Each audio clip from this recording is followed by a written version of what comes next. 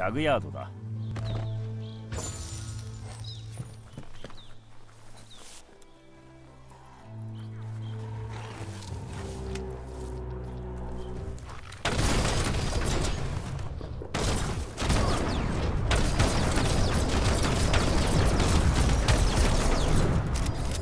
ドライブはいつもスクラップを漁っているんだ。ヤードには常に十分な量がある。しかし彼らはスプロケットで遊び回るよりも略奪に専念するべきだ。X 線放射。ボンバボンカーはせわしなくドアをぶったたいている。今がチャンスだ。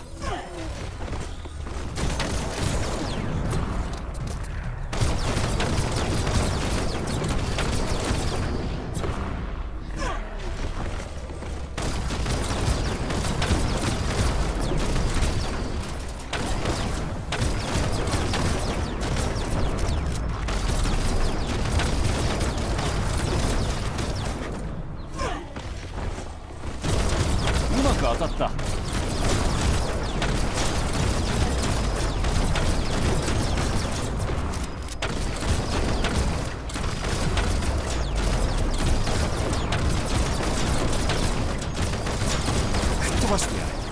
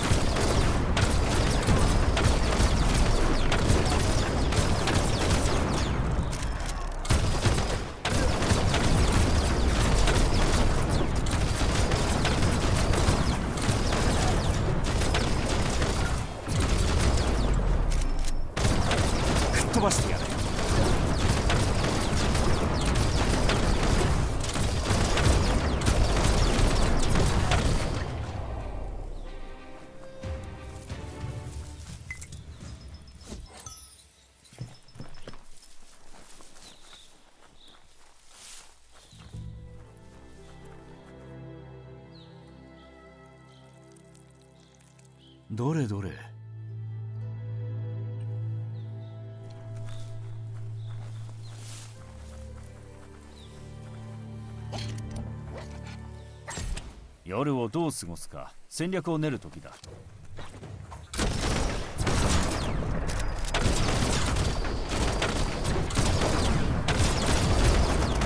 X 線放射。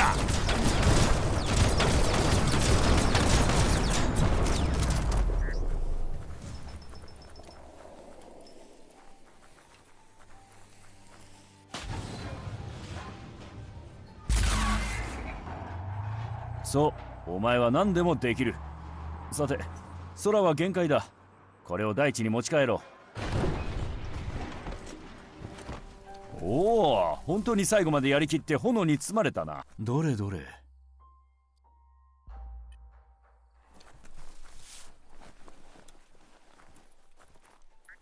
このアップダウンのいくつかがまだ動くなんて驚きだ。昔の機械作りは今より優れていたんだろう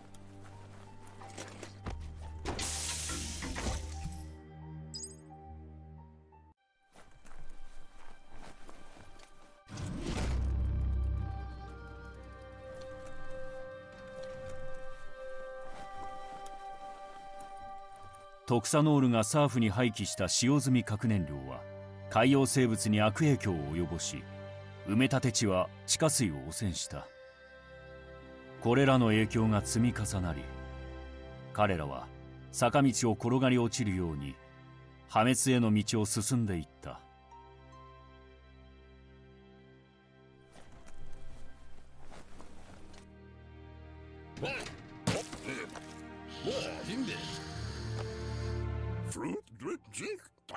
私のウォンド語の理解が足りないのかもしれないがどうやら庭で爆発を起こしたのはお前だと思っていると言っているようだ。おおお前のことを知っているようだ。お前は昔彼のことをギズモと呼んでいたらしい。この油まみれの手でお前にアップサイクルの基礎を教えたそうだ。ギズモはお前が優しい子供だったと記憶しているそしてまだその両親のぬくもりを感じることができるそうだ。だがギズモは経験上記憶が当てにならないことを知っている。物語を知ってはいてもその裏にある真実は本人にしかわからないものだ。彼がアップサイクルについて教えてくれたことを覚えているだろうか。少しは役に立っていればいいがと言っている。ルパルパンがお前の過去現在そして未来の大部分を占めるであろうことを彼は理解している。彼はまだ誰にでも善の部分があることを信じている。お前はまだ明日への希望がある。お前は運命の意味を理解するべきだと言っている。それは常に道を示すが歴史に自分が飲まれてはいけない。ギズモはそれがいいと言っている。許すべきだが決して忘れるなとそれはお前の魂に安らぎを与え失われた愛する人たちの記憶をいつまでも心の中に留めてくれる。光のもとに来なさい。良い心よ。抵抗するんだ。抵抗？それはただの躊躇に過ぎない。自分にそう言い聞かせ続けるといい。この一つのものをくれさえすればいい世界が実際に存在するなんて信じがたい。今まで不可能のように見えていたのに。世界を終わらせてやろうというお前の決心は理解できると言っている。終わりを早めてやるのが慈悲だろうと。ミリアドは気に入っただろうか。彼らはいつも冷静な探求者だ。だがそれは今は重要ではない。過去から現在に至るまでに多くの時間がかかったと彼は言う。お前がここからどこに向かうかは自分次第だ。少なくとも今だけは過去を振り返るな。彼はデッドゾーンの真空から身を守る術がないためアンダーヤードから出ることができない。そこでお前は手始めに外側の古い木箱からメクトンを改良するためのスクラップをサルベージするべきだ。スクラップを回収したら戻ってきてほしいと彼は言う。ジャンボパフと戦えるようにメクトンを強化するには時間を無駄にできない。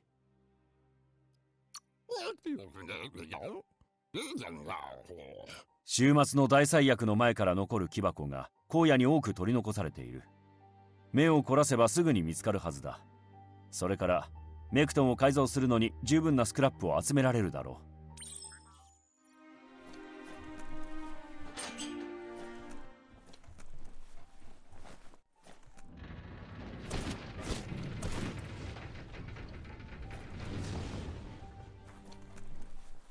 この区域は息切れして死にやすい。注意しろ。呼吸が半分なら命も半分になるぞ。あれが探している残り物だ。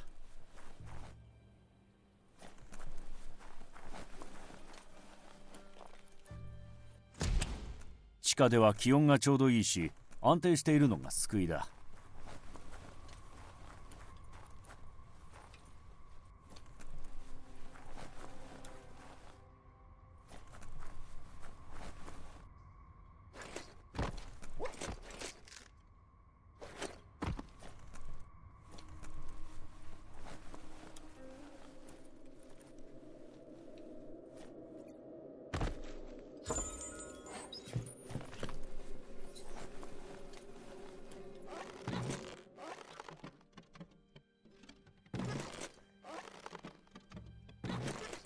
バランスが肝心だ。このひどい匂いは何だ？バイオ災害が近いぞ。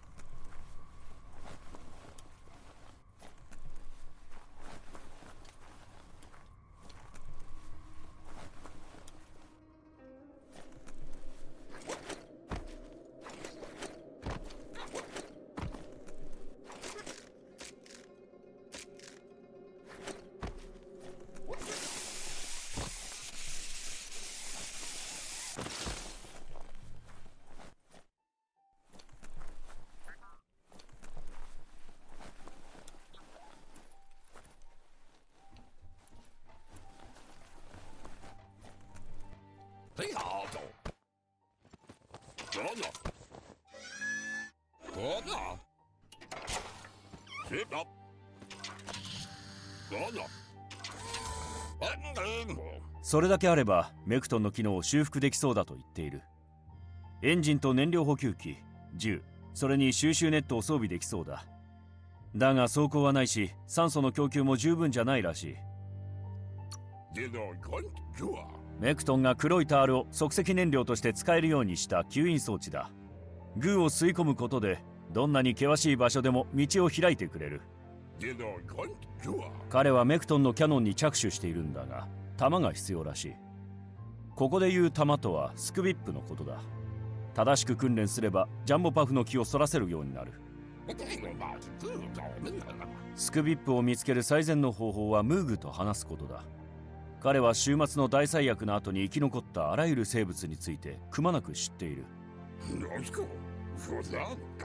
残念ながらムーグのキャンプはスティーブ・ディーポにあるからお前はデッドゾーンのさらに向こうまで出向かなければならない。ムーグを見つけたら彼がスクビップがいる場所まで案内してくれるはずだ。ジャンボパフは集中力がないからスクビップを使って注意をそらすとダメージを与えられるそうだ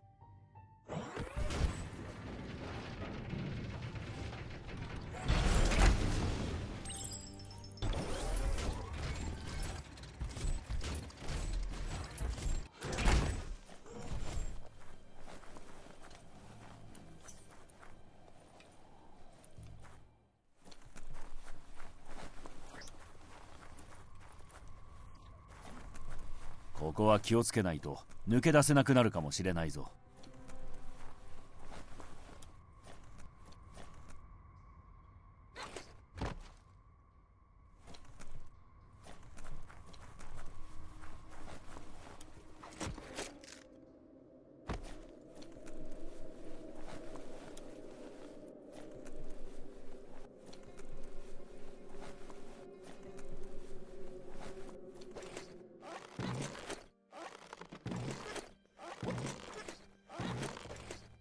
ンスが肝心だ。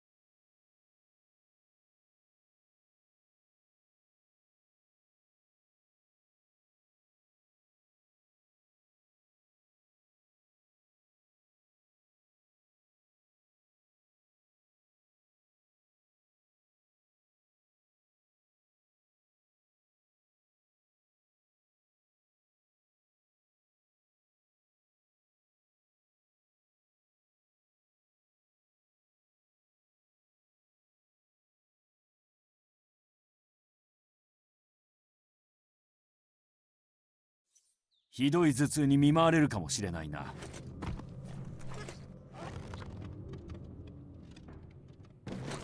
バランスが肝心だ。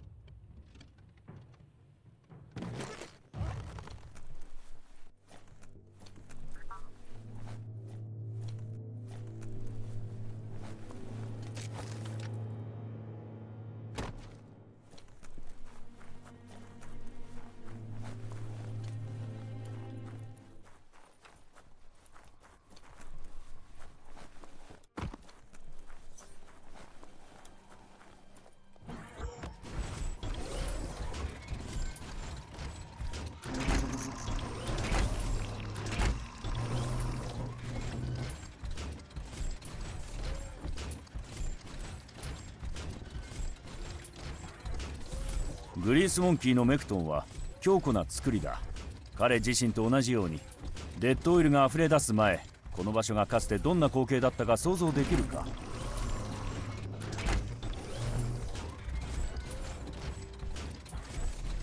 覚悟するといい。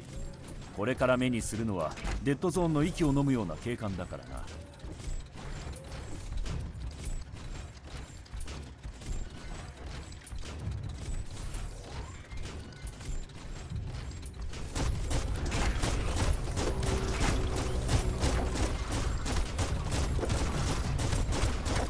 世界ではこんな場所に来るだけでまともな食事にありつけたという。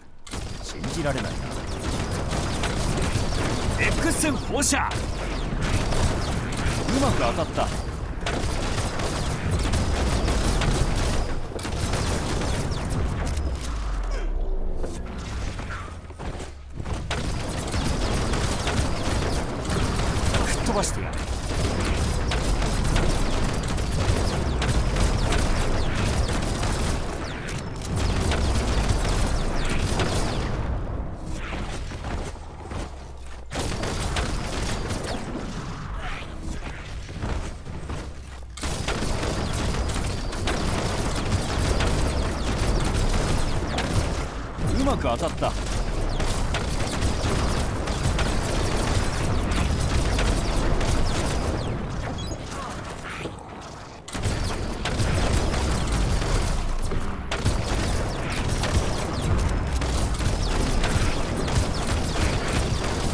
Hostia.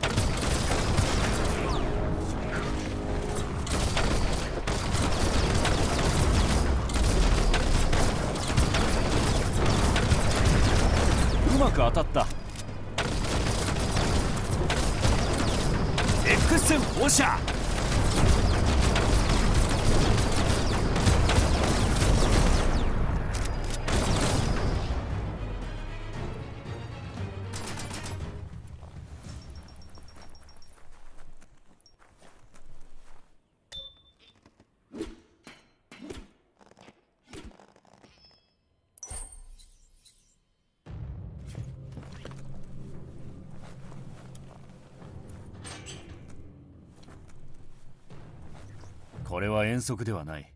本番だ。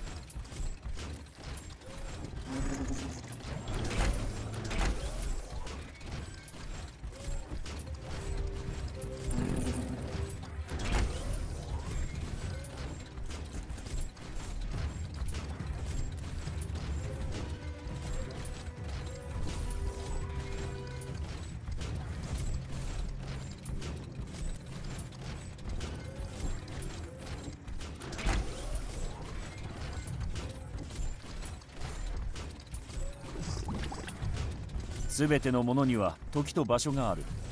だがあのシティシナリオにとってはそれらはすでに過ぎ去ってしまった。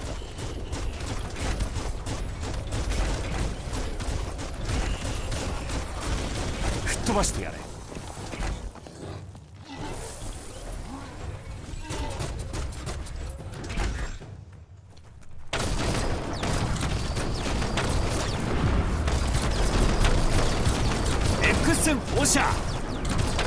く当たった。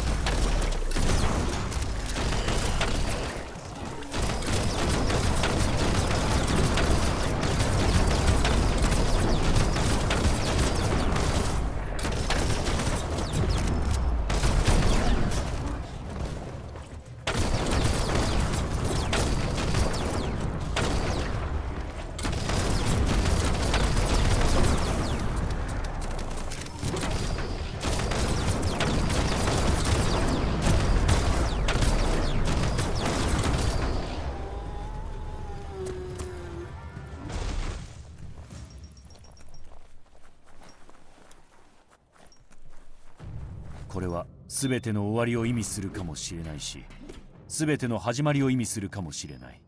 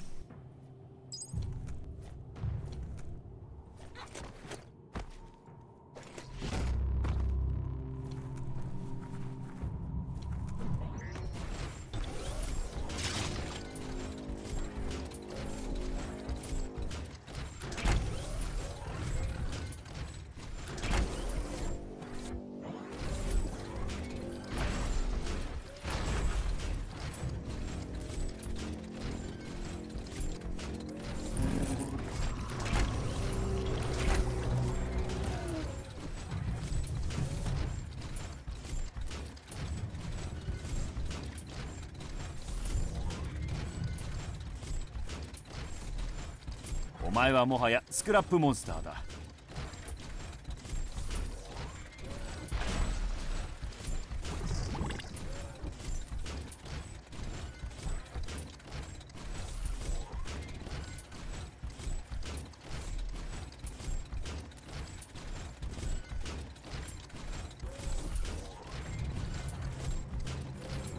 バンシェルター 7B はまだ健在だ。開ければ中に避難できる。ブレ機関から出よう。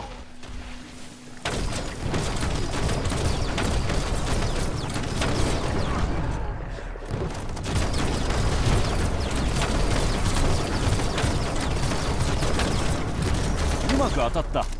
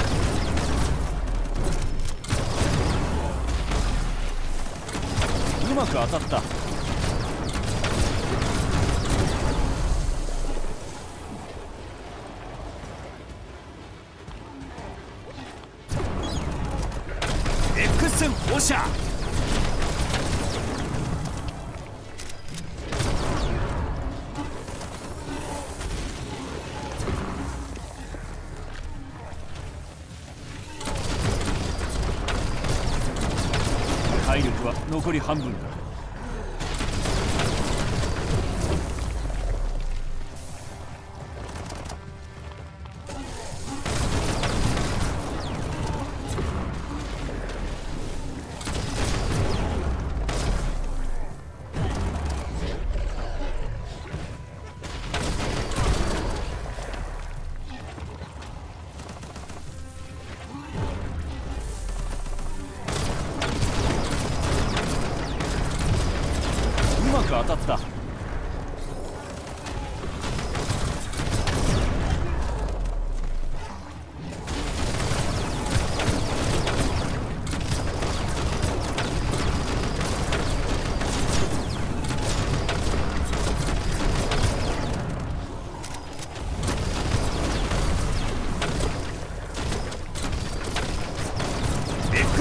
スン放射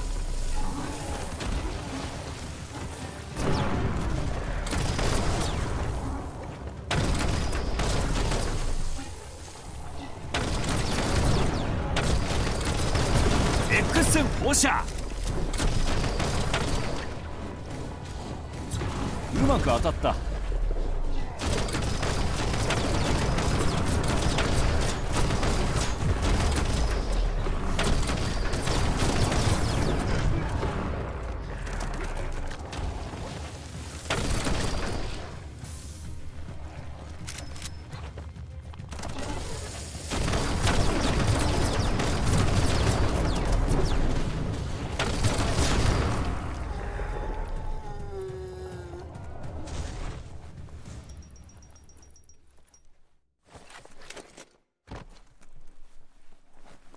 遠足ではない。本番だ。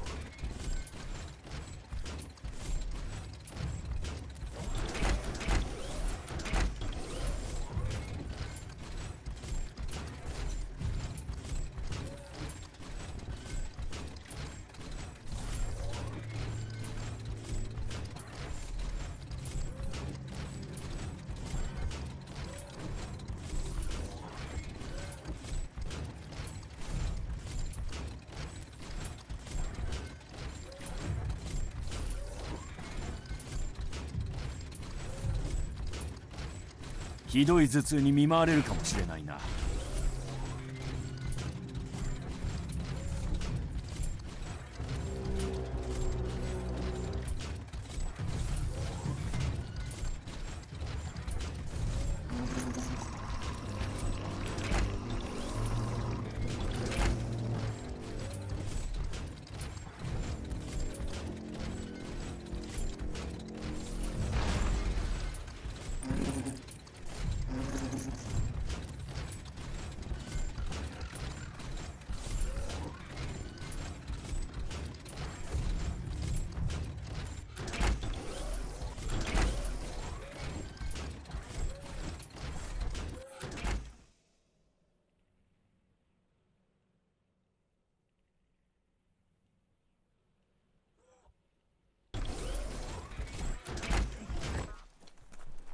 あそこはスティーポディーポムーグがとどまっている岸壁だ Botse. Inmo. Diava. Badya Analo. お前にここで会えて彼は感心しているとっくに死んでいると思っていたそうだどうやらお前は他の奴らとは違い強くて賢いのだろ.うマンスターホンターはたくさんの風の噂を聞きつけるそうだどれほどの力があろうといざという時に引き金を引けないようなら全く意味がないとムーグは言う.マンスターを相手にするならあとは殺すか殺されるかだお前はどちらだろうな.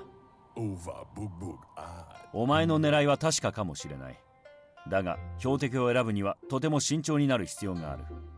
他者のために生死に関わる判断を下すのは難しいだが誰かがしなくてはならないことだでなければ彼らは間違った選択をしてしまうだろう.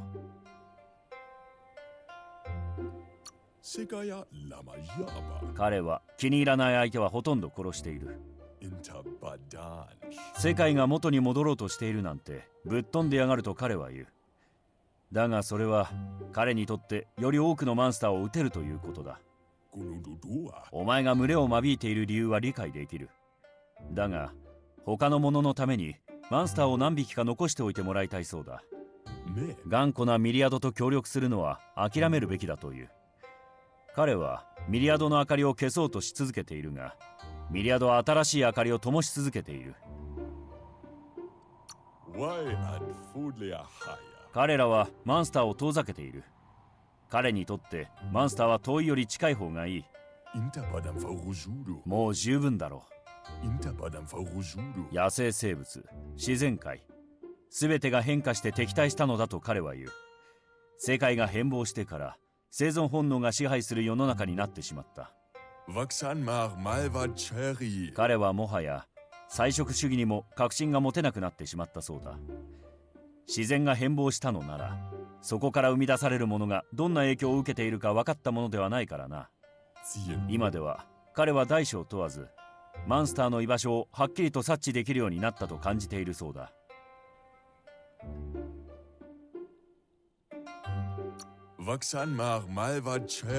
わからないが獲物を本とするならそれを食べないのはもったいない気がする.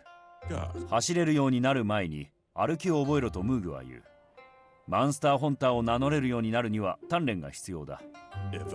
幸いなことに彼が手伝ってくれる大物を狙う前に小物から始める必要があることを彼は理解しているのだ.ス。クビップの洞窟ほど手始めに取り掛かるのにふさわしい場所はない。この小さな生き物を数匹狩ることができればお前もなれるだろう.ホンティングをやり遂げろ。そうすればチャンスは後からやってくる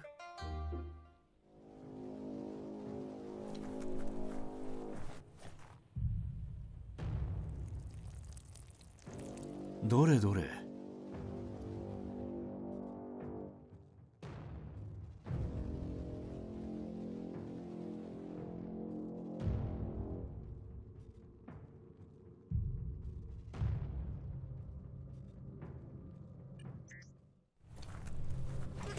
息を小さくしろ。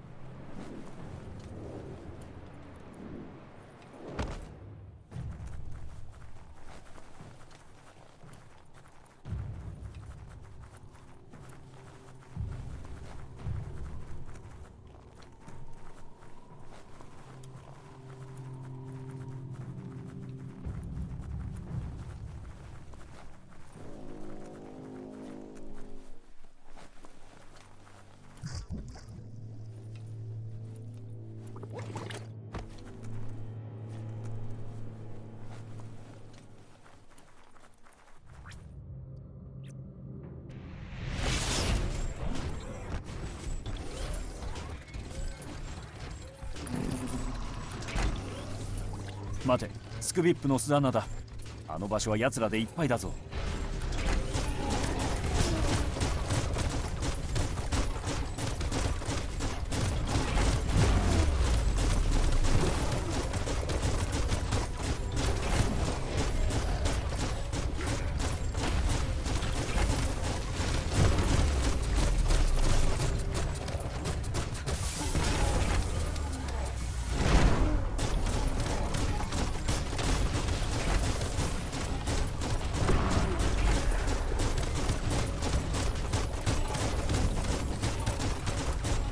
体力は残り半分だ。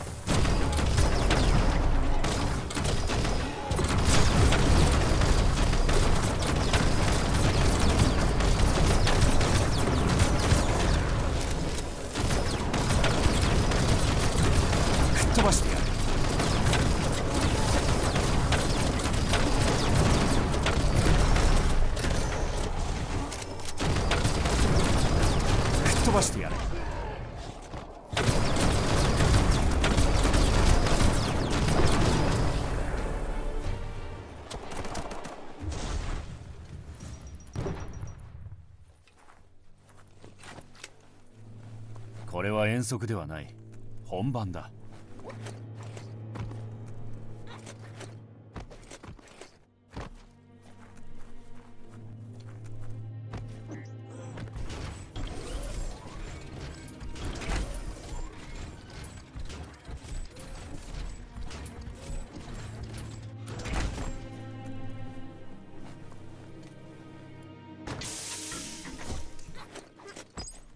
ロックされている。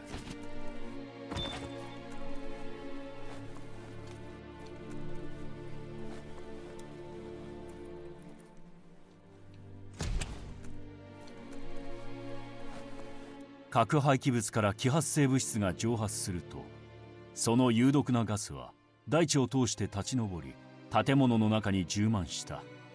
もちろんトクサノールが所有する建物も。彼らは自らの手で自らの命を奪うことになったのだ。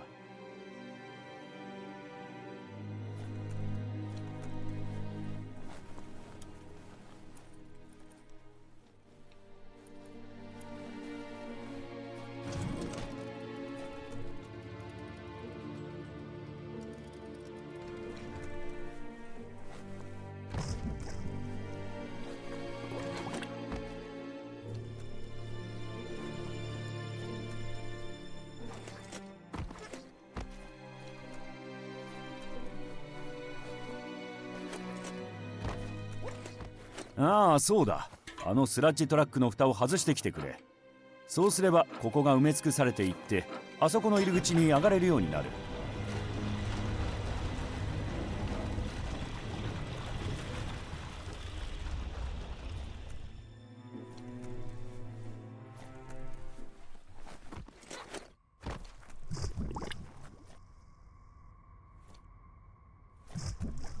本当に夜に出歩くのは賢明か。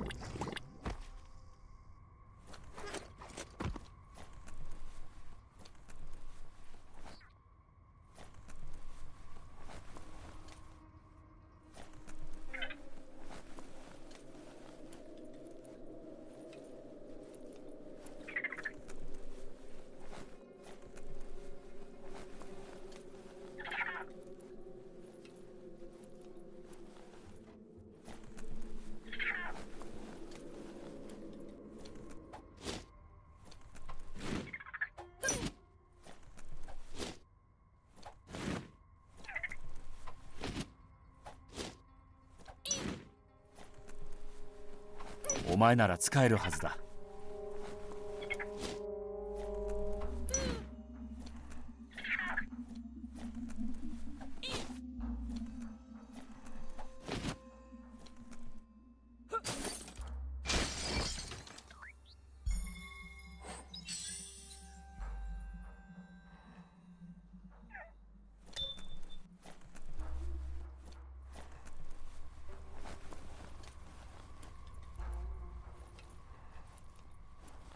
ダクターを通して十分な電力が流れるようにスイッチを入れる必要があるようだ。残りは数手だ。無駄にするなよ。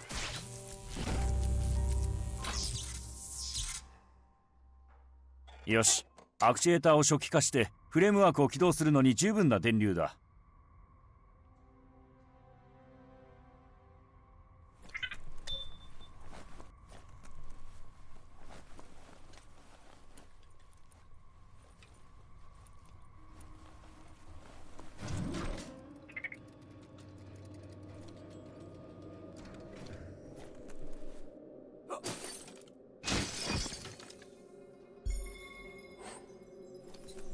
まだ真っ暗だが夜明けは近いはずだ。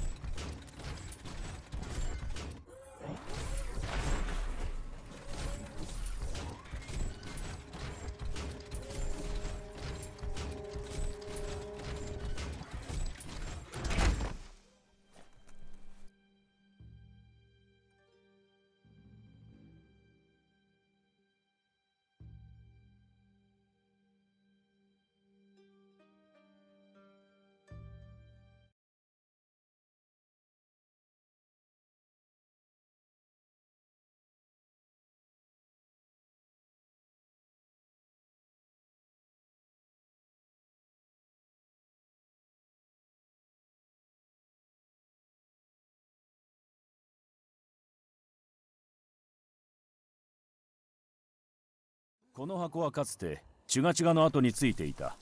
今は脱線している。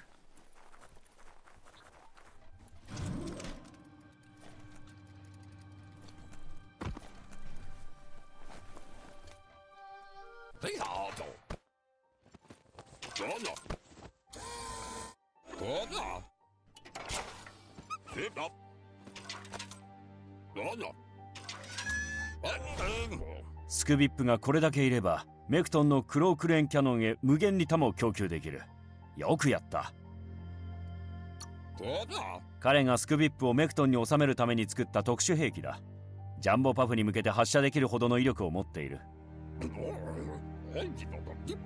ギズモは自らジャンボパフと対峙するために乗り物を作ったことがあるがそれは失敗に終わっただが今回は違うメクトンは頑強でこの役目に最適だ